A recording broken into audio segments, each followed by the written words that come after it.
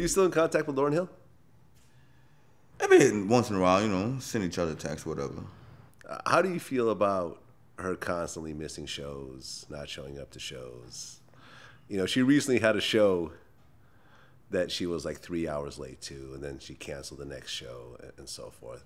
This is someone who you knew her before she was Lauryn Hill. Right. You, you discovered her basically. Yeah. So you know her extremely well.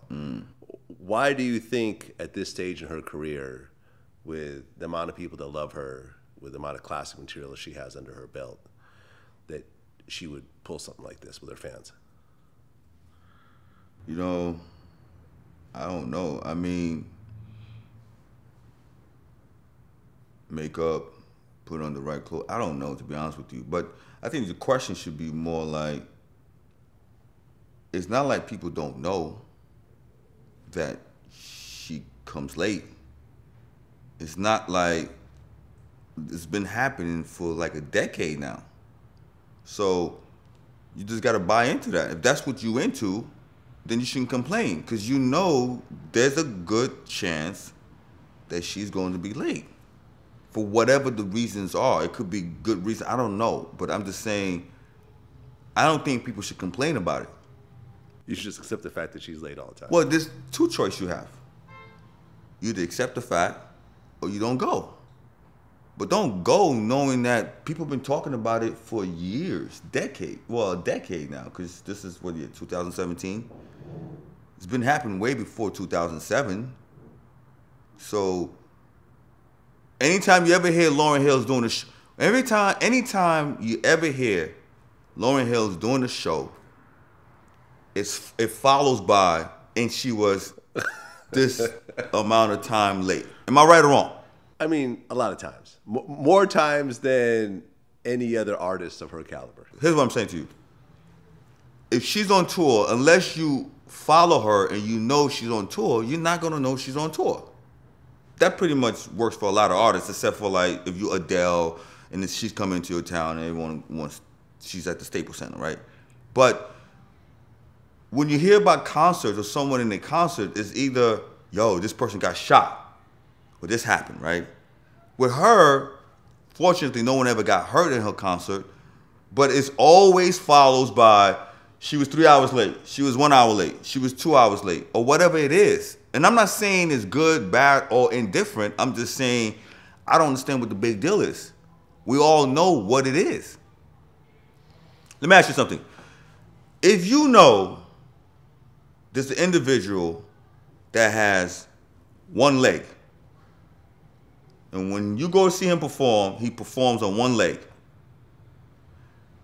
And then somebody comes out and says, I don't know why the fuck he performs on one leg. Imagine if he had two legs.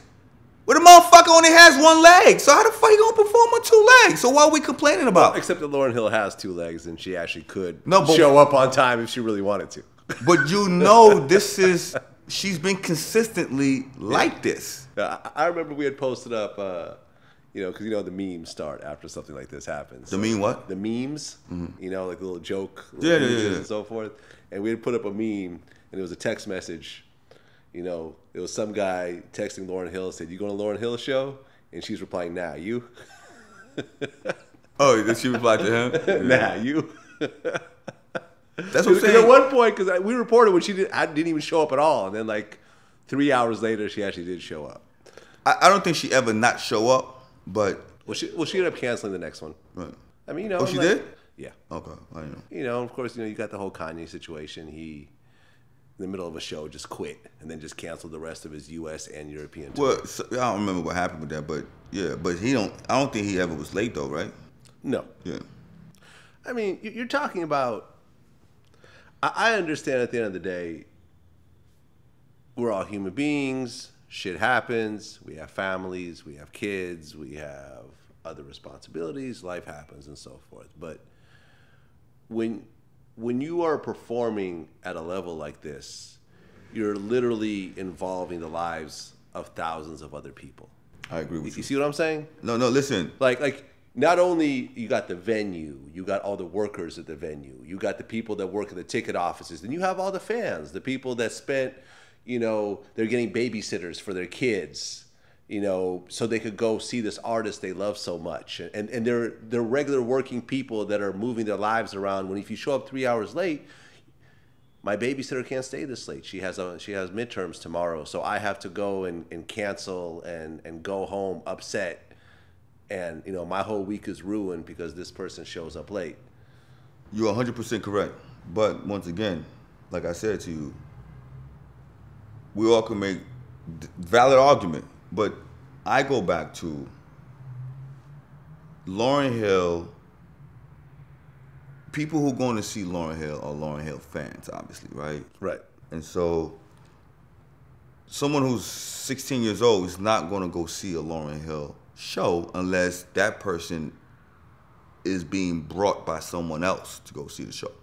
So we have to assume that a large demographic or population of people who go see her show pretty much are familiar with her, right?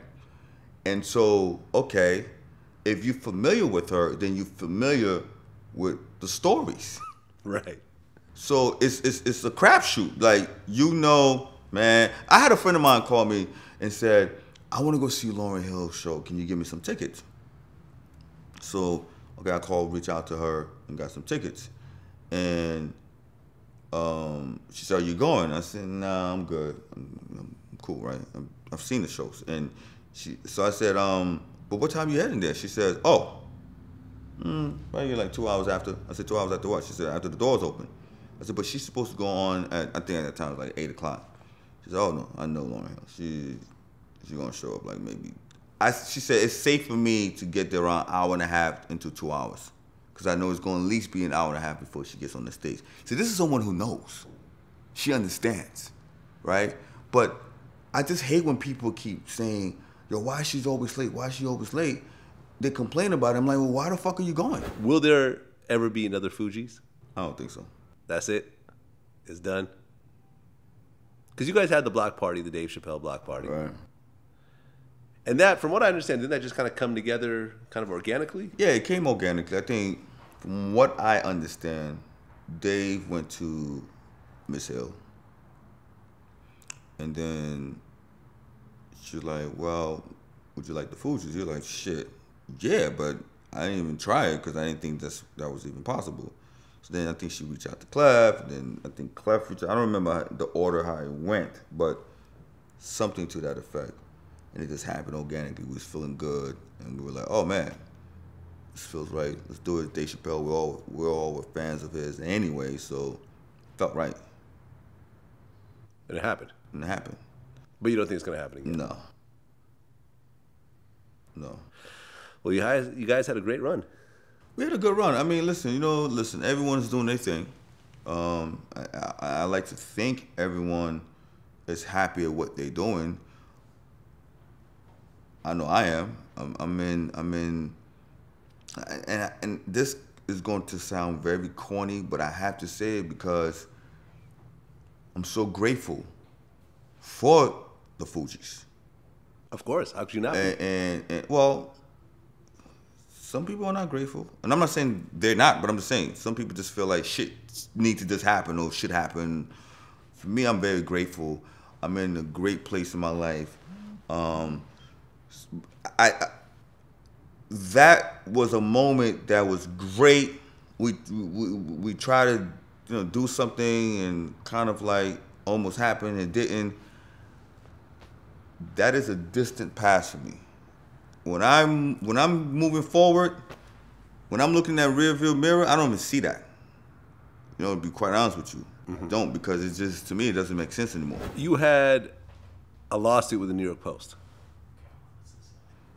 It was something that happened that they basically said I was a part of something that I wasn't. And come to find out, I wasn't. But we settled, so I can't get more any Okay. more details. Are you happy with the settlement? Yeah, I'm happy with it. Okay. That's what it is then. so, you're actually working on music still. You got a new song with Young M.A. Yeah.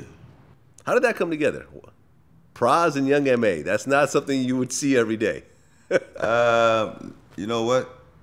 One of my man, uh, who I work with, Malcolm, big up to Malcolm. Um, I was working on some record and um, played it for him because he does my radio and all that stuff. And he was like, "Yo, man, this record is fire, man!" Like, he said, "You know who'll be hot on this?" Because he happened to be working with her also. He said, "Young and man." I was like, "Man, I love her." He said, "Let me play it for her, see, you know, what she thinks."